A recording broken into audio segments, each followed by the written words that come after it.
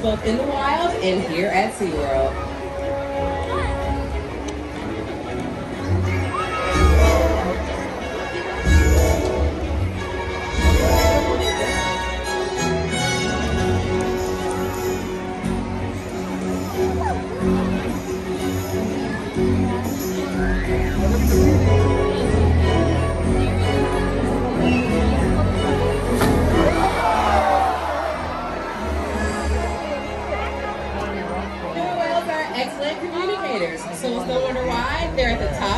Ocean's food chain.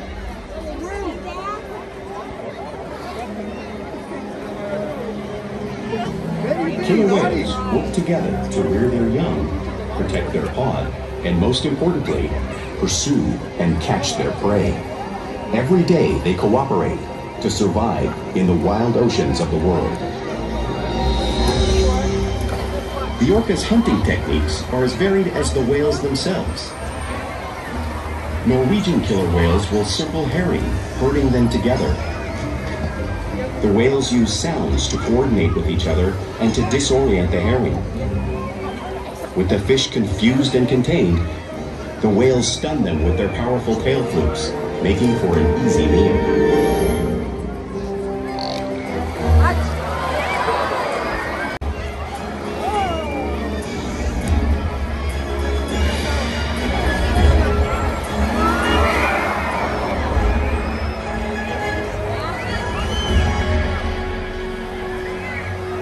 So now that you all just saw these waves crashing in front of you, you can't truly imagine how much water is displaced until you experience it for yourself.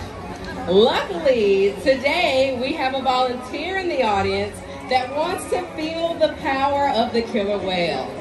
All right, let's see. All right, everyone give a huge round of applause for Aaron. Come on down. All right. You feel good? Are you ready? Yep, you're gonna sit right here. You're gonna hold on to that and sit right back, okay? So, all right. It looks like we are good to go. Aaron says he's ready. All right. So we'll see. We'll see what he's got, everybody. Feel free. And the more water he gets so fine,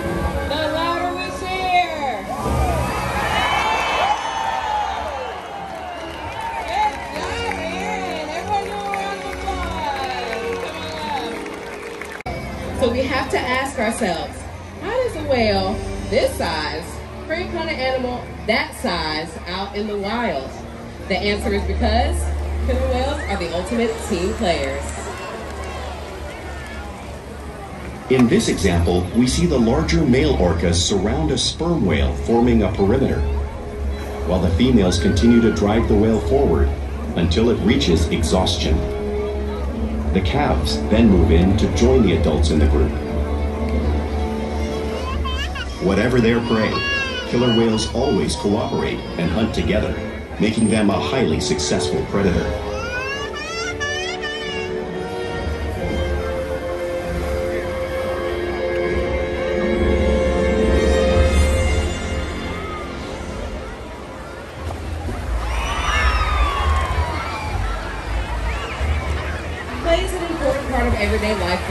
is used to teach young whales how to hunt and progressing their skills as they grow. Killer whales can be seen interacting and showing their playful side both in the wild and here at SeaWorld.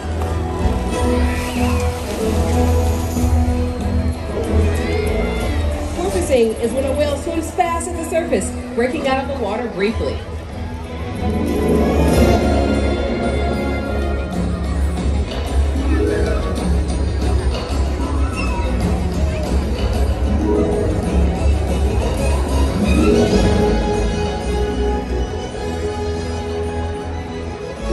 Do this when catching a ride in the wake of a boat or when surfing in a wave.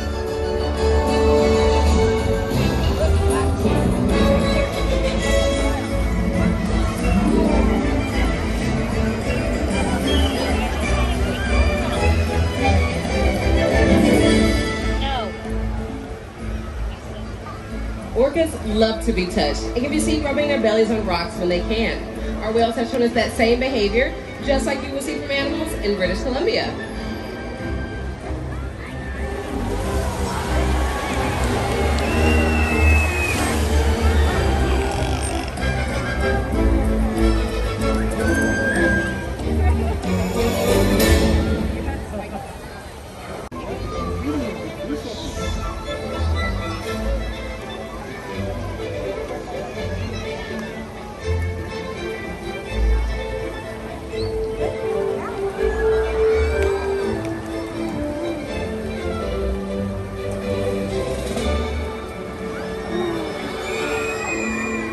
Unusual behavior has a purpose. For instance, a tail is utilized to stun fish in the wild, but today, I think our whales will be stunning all of you.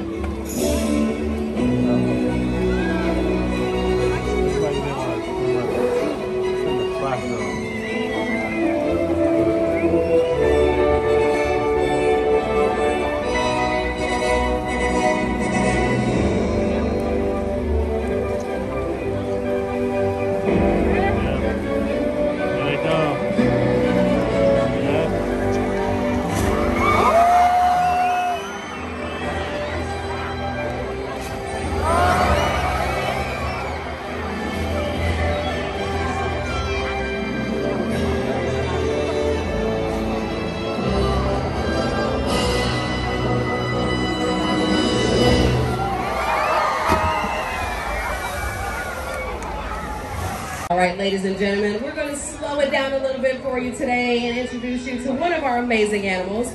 Give it up for Ulysses. Now, Ulysses is our largest orca here, weighing close to 10,000 pounds. Now, with that being said, our trainers work very hard to build a strong relationship with Ulysses because it can take a little bit. But once he does, In another study, scientists from NOAA, the National Oceanic and Atmospheric Administration, took measurements of the killer whales living here, including pregnant whales.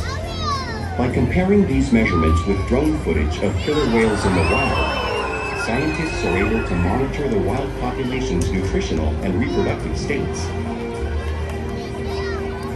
Other research has been done here at SeaWorld on the mother whale's milk composition. This research will help create an effective model to understand how toxins in the ocean impact wild killer whales and their milk supply. What we learn from the whales in our care every day is actively helping whales in the wild survive. And just by being here today, you've supported our rescue, research, and conservation efforts all around the world. If we work together, like the killer whale, we can protect the future of the Orcinus orca and this beautiful planet that we all share.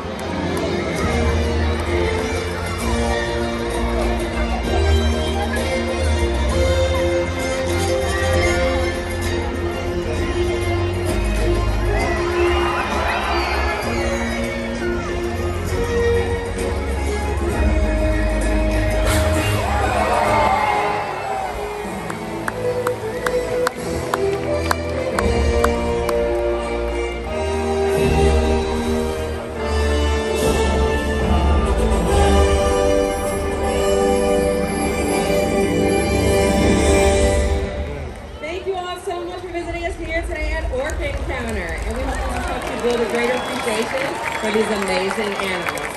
Have an awesome day at SeaWorld, everyone. See you later.